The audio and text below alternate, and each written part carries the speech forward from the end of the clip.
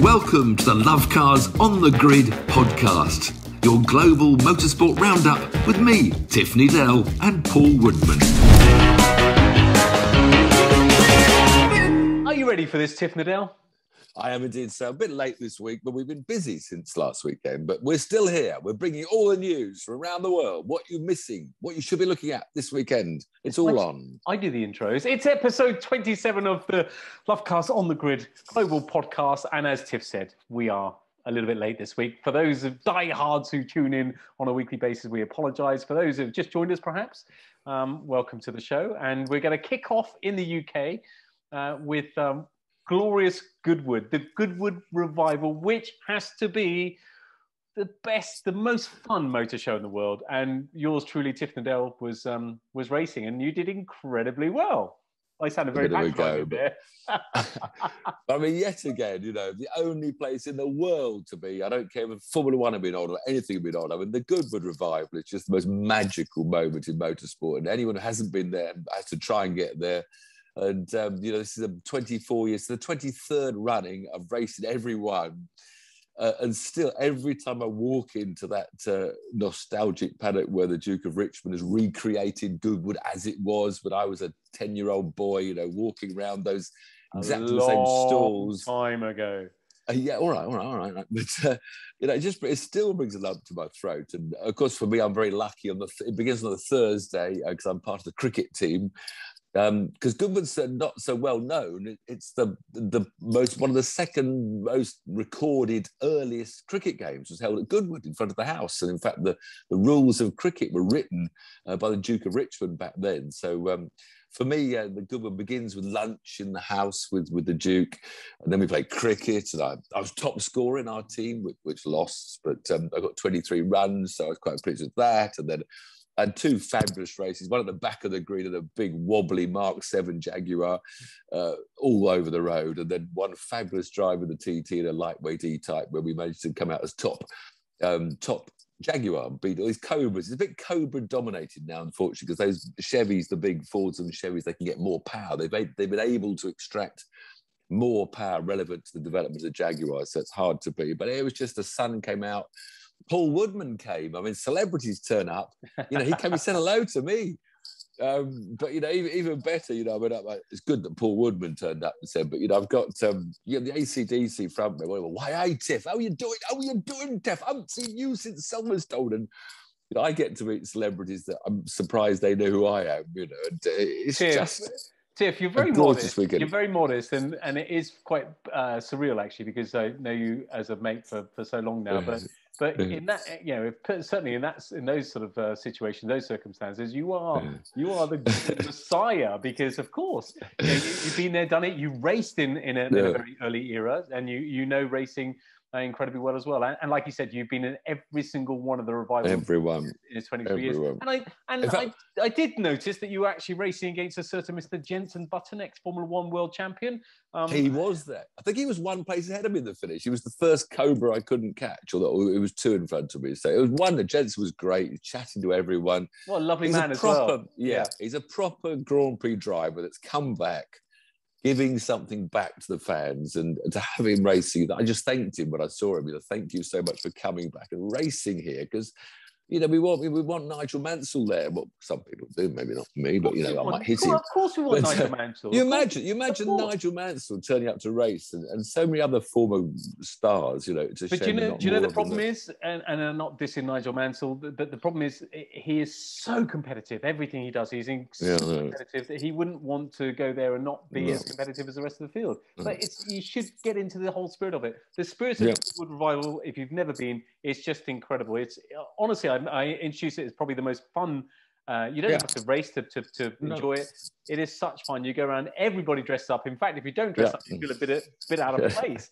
And you, the first time you ever go, you do feel a bit odd dressing up a little bit. But we we dressed up. We and I, I went with uh, my my my other half, my far better half, and we packed ourselves on lots of different stands and uh, had a good time. Had a bit of champagne probably, and I was driving, so I couldn't have this. The champagne tents pop with the rock and roll going. I think you were in there for half the day, but uh, but, you, but you walk around with a smile on your face. Everywhere you look, there are people smiling and happy, whatever they do, the motorbikes are there, great old motorbikes. There's the Tesco supermarket with all the prices and labelling as it was in 1966, you know. And yeah, it's just it's a magical, magical four days for me every year, and it, it didn't disappoint. Do you know what? The only thing I'll change next year for me personally will be going for more than one day because one day is not enough. It is yeah, no, so it's not. good. No, it yeah, is you've so, got to do two or three. It's yeah. so good, and um, you know, the, we're not particularly blessed in the UK for having nice weather, but I have to say, most years, Tiff, it's been quite good. I know Yeah, you've had a couple of uh, uh, awful, It um, was only the Sunday morning's a bit wet, yeah, but we're lucky again. A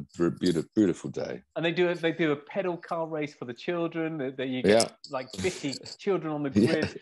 Like a Le Mans start, it's just everything going on, and and uh, it, it's, it is a magical and of course, no, no air displays. Sadly, you know what that but that Shoreham crash has stopped the air displays. But the cricket ends with a Spitfire coming low, flying over the over the cricket pitch in front of the Duke's house. And Do uh, you still get a it's a Lancaster bomber as well? No, we don't. This they're not allowed these fly pasts anymore Mm, over shame. crowds. And this is yeah, it's what's all happened since uh, that awful crash. Yeah. Um, so yes. So if you are in the UK, make sure you uh, uh, you certainly book your tickets. Try to go one. If you're not yeah. in the UK, get over here. Forget COVID. I know there's a little cold going around. I don't want to make light of it, but uh, try try if you can to uh, get it off your bucket list. Goodwood Revival. Uh-huh. Um, say Tiff sent you, and, and you'll get a discount. You won't really. They'll probably put the price up. Um, so well done, Tiff. Brilliant, brilliant racing from you, and it's it's so good to see. And you smell. I wish there was smell-o-vision there because you smell the fumes as well. And what an amazing job they do about the live broadcast. It's a it's a Yeah. proper proper top-notch event. So 10 out, of It's wonderful. 10 out of ten to the Duke. Um, is it Duke now? Sorry, you did just say it, it is. The a Duke now because he was the Lord March, but his father died sadly. What just over a year ago or two years ago now. So yes, So let's stay in the UK and let's go Yep. to a circuit that I actually know, believe it or not, Croft Oh, no. Circuit, BTCC. now, Croft, for those of you who don't know, and I didn't know about four weeks ago, but uh, off the start finish line, so from the grid, you've got a almost a 90 degree right angle uh, uh, turning. And it's carnage in pretty much any Yeah. race. And sure enough, BTC. It was- in fact, as, as we moved from Goodwood to Croft, I had to do a bit of touring car door banging to hold on to my sixth space in the E. A Marino Franchitti, and I was we were side by side over the again banging doors. He had to take the escape route, so that was a bit of fun for me. But yeah, yeah, good stuff as always. Touring cars. Um, as the way the championship evolves, you know, the quickest guys now have all got weight penalties. They've all got. I mean, the championship leader uh, started race one. Mean, it was 75 kilos, which is like a second a lap on your own. So some of the lesser known names are winning races. We had the Scott Aiden Moffat um, winning in his in his Infiniti from pole position, so that was great. He's Ash Sutton's teammate, so he had his first win this year in that team. But actually, the star of the weekend was uh, was Jake Hill. Um, he hasn't won yet this season, but he's had really good um, results, and he was second in race one, qualified second, carrying. He still had 48 kilograms of ballast. Um, but then made a great overtaking maneuver in the beginning of the second race to get past Aiden Moffat, won the second race, and he's now up to second in the championship. The championship, as always, the way it's a bit contrived because the quick guys are you know, carrying this ballast around, so they can't score points later in the season. Um, but Jake Hill now is a real genuine championship threat. Um, we had what it was. Uh, Turkington won the reverse grid.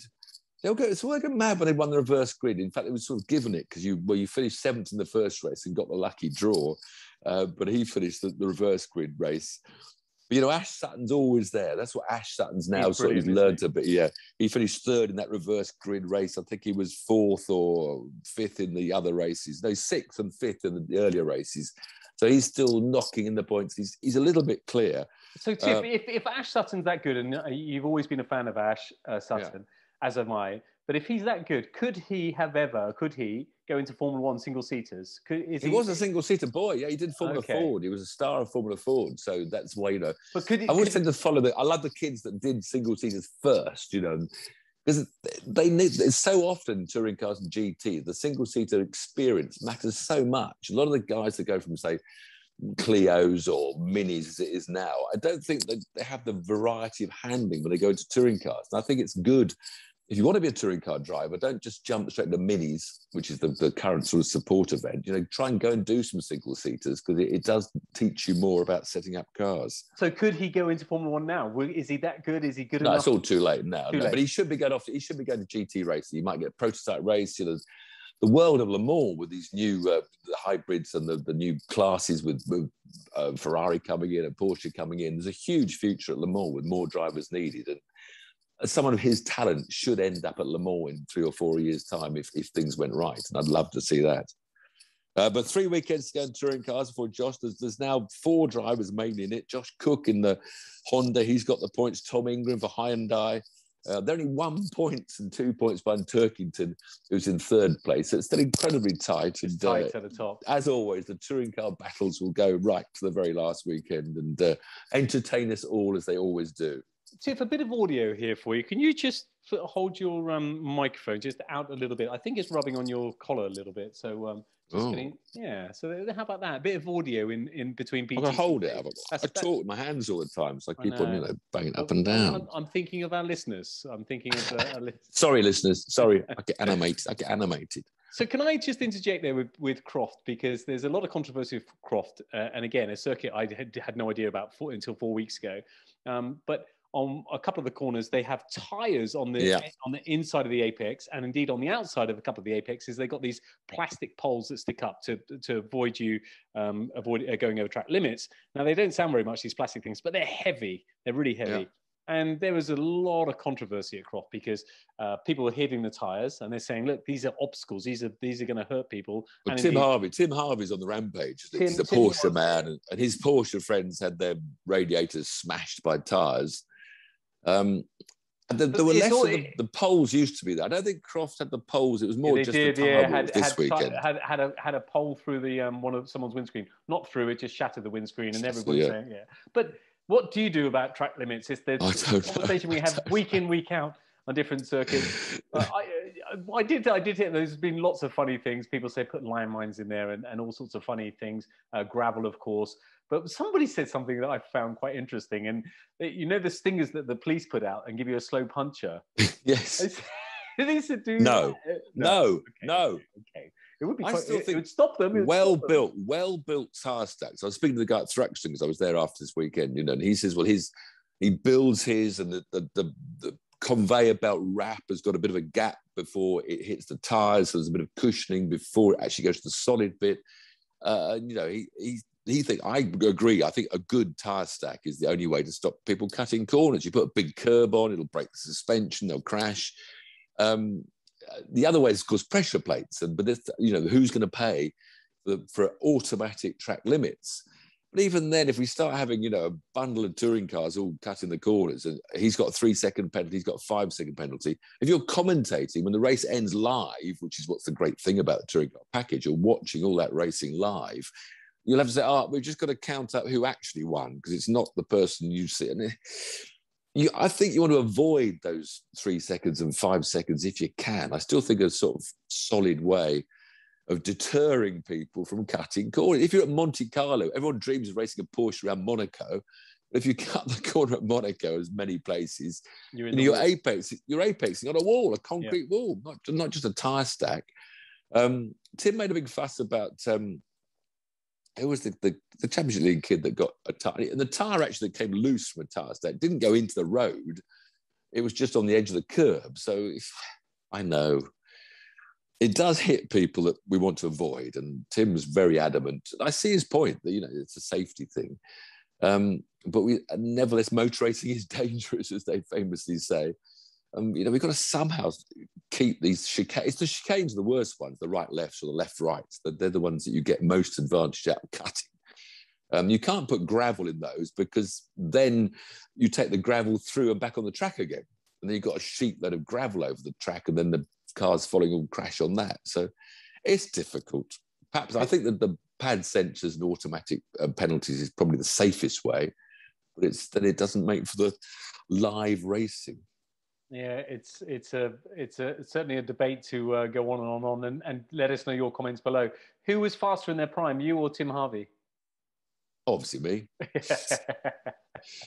we had a bit of a coming together at this Grand Prix race one weekend when he was in a, a slow red over, slow around the corners and a bullet around the straight. And I was in a Nissan that was slow down the straights and brilliant around the corners. And uh, I might have had to move him out the way at some stage. But no, Tim's great. Tim's a, Tim's been one of the greatest touring car drivers. And uh, and he's a wonderful character, Tim. And he's really, I love his commentary. I think he really is good. But he, he's really well, gone to town at the moment on tire stacks. Some people, when they do commentary, if they've been there and done it, it doesn't mean to say they're a good commentator. But he's been there, done it, and he's a good yeah. commentator. So yeah. I think yeah. he sees it from, from both sides. Your old mate Jason Plato wasn't very happy on the weekend. I didn't see that. Wasn't I didn't see him quoted. I think his, his, hundredth win is getting further and further away. And, uh, he, what was he moaning about this time? Oh, I don't know everything and everyone. He's not going to win unless he gets a reverse grid, is he? I mean, he's still quick, yeah. clearly, but there's some. Oh yeah. Super quick. Well, the, his cars and both his, his teammates really quick as well, but neither of them's really getting the results. Um, they yeah. always, you know, they always they always want hope they always sort of hope that they'll get a little favoured little rule rule adjustment for one manufacturer to help win a race or two. But uh, we, we'll wait and see. So should we move on from BTCC or anything more to add on that uh, little? No, that was that was yeah, touring cars. It's building up to its usual, you know, Titanic finale.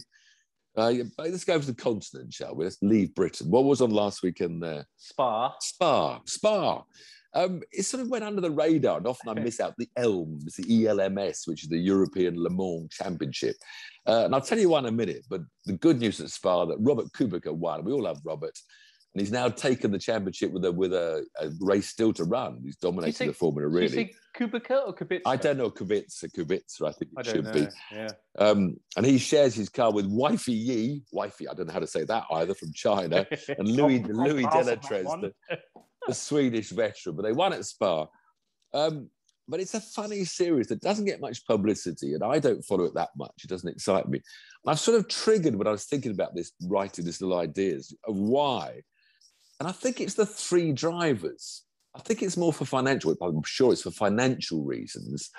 So it's a four-hour race, and you've got three super fit drivers with modern day driver training and diets and stuff, you don't need three drivers. You know, no. the great days of Group C when I was lucky enough throughout the 80s to race, you know, you had two drivers for the thousand kilometers, the six hour races. You know, you'd have a third driver come in for Le Mans and Sebring. And I think it was the partnerships, the pairings, when it was Bell and Ickx or Mass and someone else, you know, you got used to those names and it was a pairing. I know it seems ridiculous, when you've got to learn three names, you yeah. write them down to work out, you know, and you know that they don't need three drivers. And I think it's, the, it's, it's, it's just a bit, I don't know. And all, of course, all the LMP2 cars, this is not for LMP, it's not for the higher class. They're all identical cars. There's only one make that can win races, and they're all, they're all identical cars. They drone round and round with little flappy paddles, very easy to sort of operate. Um, so yeah, I think we need to bring it down to two drivers only. But then there's not enough money to pay for the cars, and oh, it gets a mess. Can, can, can I um, just draw the listeners and viewers' attention to? Um, I asked one simple thing to hold his microphone away from his. Oh, his, I've, I've, got to pick up bits of paper at the same time. Thing. You see that? Well, it's a stupid design. How it's a stupid design. Um, how can I make it work? So speaking of speaking of uh, endurance races, we were just invited to one today. It's a long way away, but next spr- summer at Anglesey. The uh, uh, what is it? The the one they have at Anglesey. The oh, race of remembrance in thank November. You. Thank you. Yes, it's November. It's not is next it year. They, they, postponed it. It's November. Oh, no. well, okay, we're racing in November then. We got a team you of four. Be. you might be. You we'll talk be. offline about that. We'll they stay, tried we'll to get me the, up there. We'll it's stay on the continent. It's a wonderful, wonderful cause. Wonderful cause. So you mean I've got to phone Ben Collins instead of you? Is that what you're saying? You're going to dump me and I've yep. got to get mm-hmm. Ben? yep, yep.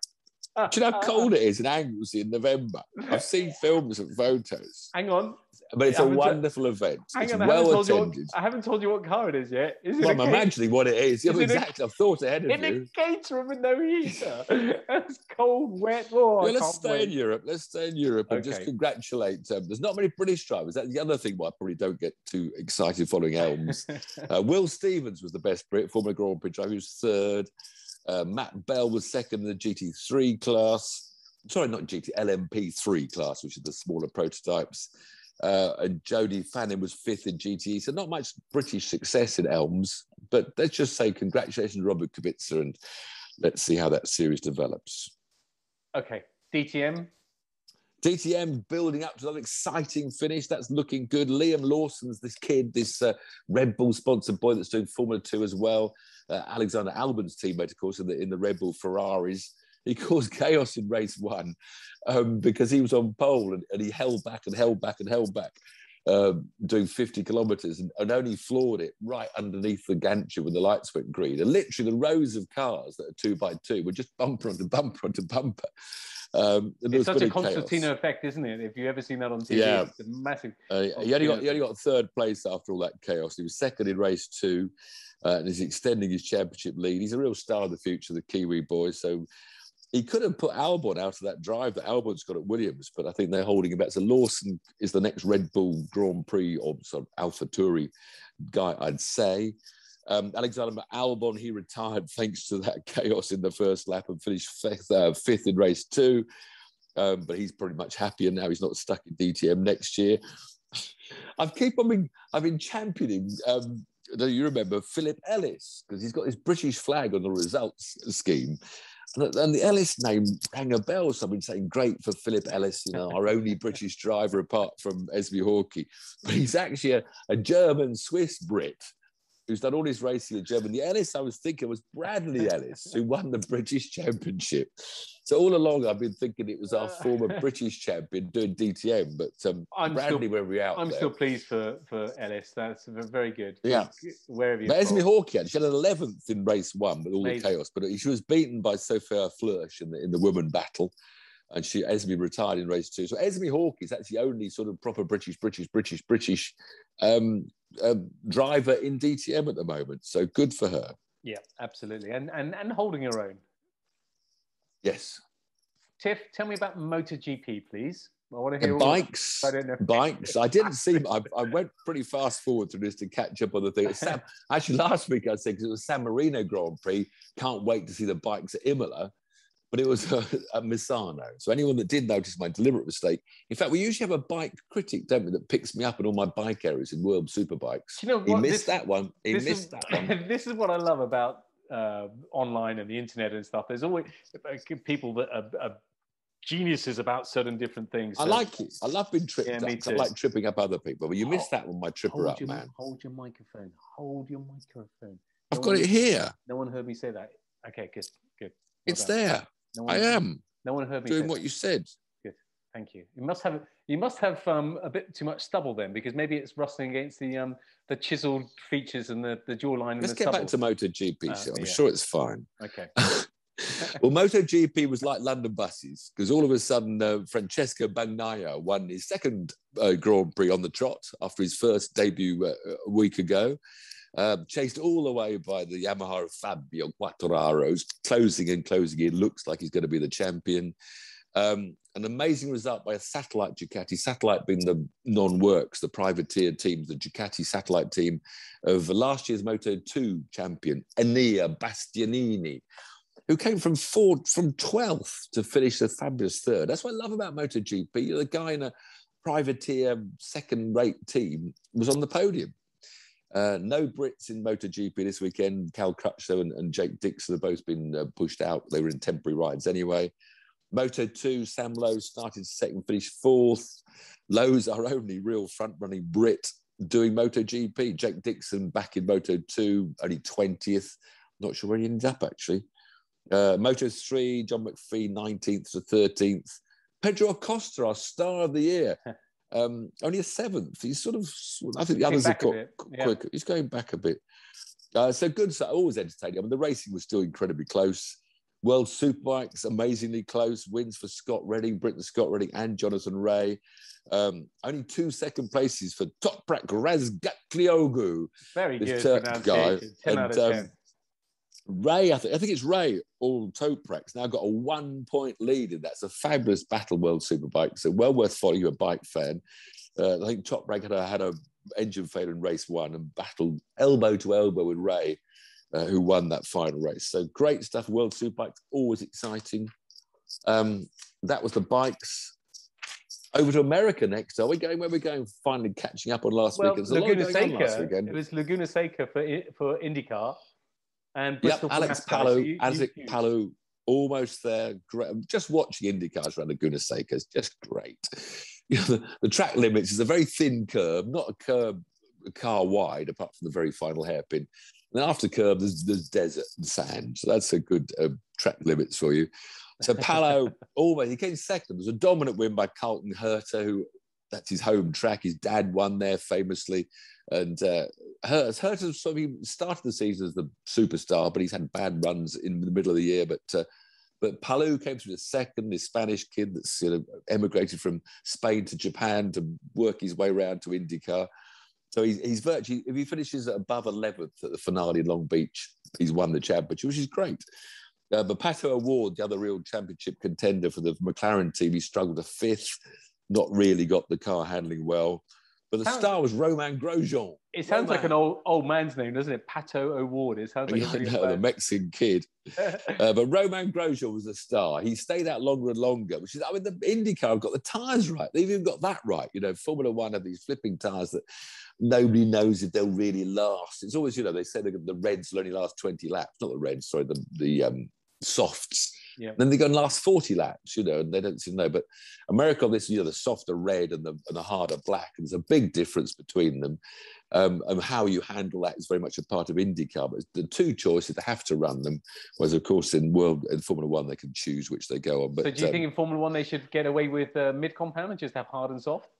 Yeah, just have uh, follow, but they can't. They don't follow IndyCar. But IndyCar always had pace cars, and the Formula One had to call them safety cars because they can't copy anything the Americans do. That'd be too low. Yeah, Uh. And if so, Romain stayed out longer than anyone else on the, uh, I don't know which tyres he was on at the time. So came out with some really fresh tyres with about 20 laps to go, just came storming through the field. And he was making, he clattered Jimmie Johnson. Uh, he was desperate trying to get up to the front two. He was catching the front two, but Jimmy was holding him up slightly. Jimmie Johnson, the NASCAR driver, having one of his best drives. He's paid for his drive, and he, I love the fact he's doing. He's can completely lose his reputation as a racing driver because he's been at the back all year. He's been on the grass and in the barriers, but he was a really good run to 17th. But Romain just just came up before the corkscrew and clattered into the side of him and escaped and finished third. Um, spectacular racing, and I just like it. You know, Romain Grosjean's out there having an absolute ball after Yeah. a miserable midfield Grand Prix career. Um, the Brits didn't have a very good weekend for the Brits. Uh, Jack Harvey, who was still waiting, hoping he's going to be moving to uh, Rahal to be a, in a better car next year. He got 15th, Max Chilton 21st. Callum Ilott, one of our stars, the Ferrari Academy boy, only got 22nd. I saw Max. um, Chil- I saw Max Chilton at uh, Revival. That's the clientele that there are there, by the way. Max Chilton. Oh, yes. Revival. Yeah. yeah Chilton's there. was he? No, Yeah. you saw the other Chilton. Was that Max. Chilton? I'm sure it's Max. Very tall, isn't he, Max? Yes, but his brother was there probably. I don't know. His brother Oh, was up okay. doing touring cars. Yeah. Anyway, Yeah, Callum Ilott. taking. Yep. Yeah, he's taking dipping his toe in the water, but he's with a midfield team and uh, struggling a bit at the moment. But uh, he's got one more race. He's doing last. He's doing uh, Long Beach as well. So that's So is he still tied in with Ferrari, or is that all? Yeah. He is. I presume Ferrari are, are paying a little bit. You know, these drivers that, that haven't got, you know, like Albon, obviously Red Bull are paying a bit of money to Williams to get him that drive. So I think it's great if that is true that these academies, when they can't actually get them into a Grand Prix car because there aren't the places, if they're, you know, funding them to race elsewhere, I um, congratulate Ferrari and Red Bull for doing that. And, and Yeah, the more, the merrier. Yeah. So, um, then America, obviously NASCAR. NASCAR again was brilliant. if you like motors, I'm sorry, you've got to watch American racing, you boys. You'll turn your nose at a lot of people. But uh, on this Bristol, this one mile bowl, it's one of these amazing packed crowds and they're banging doors all the way 500 laps. Um, but there were sort of three contenders running out front. Um, the two teammates, the Chevy teammates of uh, Chase Elliott, who actually looked quicker than um, than Kyle Larson. They were battling sort of door to door with Kevin Harvick's Ford, and um, on one move for the lead halfway through the race, Harvick just ran up the road and clouted um, Chase Elliott, who got a puncture. So Elliot then had to pit and went a lap down. So Elliot then comes out with fresh tyres, catches the leading pair, which is now um, Kevin Kevin Harvick and, and Larson. And so when he over, it's easy to overtake with fresh tyres. So he deliberately pushes Harvick up the wall, clatters into him. They, you know, they do that the NASCAR, but- and then got ahead of Harvick, who didn't get How do they get away with that? How do they get away with not getting? Because that's rubbing is racing. It's the famous NASCAR rubbing is racing. Wow. But of course, now he's ahead of Harvick, who's leading, but he's got Carl Larson right behind Harvick. So now he deliberately stays there and just takes the line, takes the aero, backs him up. So he's constantly backing Harvick up to his main car, Larson, even though he's a lap down. Because there's no blue flags, you have to let people by. Then Larson made an amazing move when you because it's so hard. If someone's taken the high line, you have to get down the low line, but then you then you got as soon as you're a car length ahead, you've got to get up in front of the car you're trying to overtake. And he just squeezed in front of Harvick. Harvick then pushed him deliberately down the straight. You can see him down the straight. He pushed into the back of Larson's car, trying to take him out deliberately um, but went on to win the race. And afterwards, this is what you love about NASCAR. While, the, while Larson was doing his donuts with the steering wheel out the window, which is his sort of trademark, big donuts and smoke and holding the steering wheel out of the wheel. You've then got these pictures that happen so often, you know, of Harvick and um, and Elliott, you know, pointing fingers, big security men in between them. Harvick afterwards saying, "I'm in a mood to rip someone's head off." You know, this is what this is what we want Max and Lewis to do. This is what we want. Let's see them poking no, each other's eyes we, out. They're gentlemen. Uh, racing drivers are gentlemen, especially Formula One drivers. But if I get on the podium, I'm going to do. I'm going to do donuts in my car and hold the steering wheel. Oh, I'll stand well back. No, you're right. so it's very great entertainment. Yeah, okay, if you purists don't like it, then you're missing something. That's all I'm saying. Get uh, on it. Okay, well, you let me know. So tell me, the Bristol one mile um, ring. Tell me, um, uh, what sort of lap times they're doing there for one mile? No idea. Twenty no. seconds or something. I don't know. Round, round, must be round. Bang, bang, they're usually about three hours races. And of course, it was also the race when we lost four of the of the 12, 16. We're down to 12 now. So you slowly go down, slowly go down from Amazing. 16 to 12 love, to 8. I do like, I do like that uh, format at the end. It's all to play. The drama's building. The drama's yeah. building. Brilliant. But okay. don't forget, it was it was number five, Kyle Larson, that won in the end, with a little bit of help, with a little bit of help from his teammate. so the highlight for last weekend, it seems like a long time ago now, and we apologise for being late. Uh, the highlight, which was because we are filming some uh, brand new Caterhams, by the way, which will be on our YouTube channel on Sunday. Um, but the highlight for me, without any question, was you racing. Well done, Tiff Needell. Next week, we got Formula One back in Russia, and Formula Two is supporting as well. And Formula Three, I, I missed out when I was thinking. They got Formula Two and Formula Three. Wow. But the okay. rain forecast is pretty heavy coming up this weekend. God, so that on, could be an embarrassment. It, you're already on it. But why oh, would it be embarrassing? It'll make it exciting. It'll make it. Not if, not if they don't race. Not if they don't race like they have yeah. Spa. Yeah. Okay, that's you got a point there. Um, IndyCar finale at Long yeah, Beach. Long Beach, always spectacular. Again, you know, Palou's almost crowned if he, if he doesn't win. If if, if um, a Pato O'Ward wins, he can he's got to finish 11th or higher. So that's pretty much a walkthrough. But it's still be a spectacular race, always is. NASCAR, NASCAR. to Las Vegas, yeah. Las Vegas, baby. Las Vegas. That'll be fun. BTCC, Silverstone, the short circuits. I wish they did the Grand Prix circuit for BTCC because that short circuit is too short. It's like it's like a night out, a hot rod night out with a banging windows. Uh, bikes, World Superbikes are Jerez, uh, British Superbikes Oulton Park. So plenty for everyone, whether you're looking at the telly or going to Silverstone or, or watching the bikes. Brilliant. So yeah, as always, a great weekend of motorsport to come around the world, which we hope to highlight to you next week. And on that note, you like that? Good night. Well, good morning, good night. wherever you happen to be. But uh, see you next week. Cheers. Bye. Bye.